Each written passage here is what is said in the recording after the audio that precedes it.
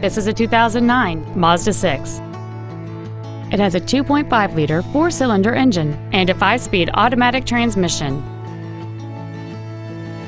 Its top features include cruise control, steering wheel controls, a rear window defroster, a six-speaker audio system, a double wishbone independent front suspension, a four-wheel independent suspension, cargo tie-downs, a low tire pressure indicator, keyless entry, and this vehicle has fewer than 33,000 miles on the odometer. Stop by today and test drive this vehicle for yourself.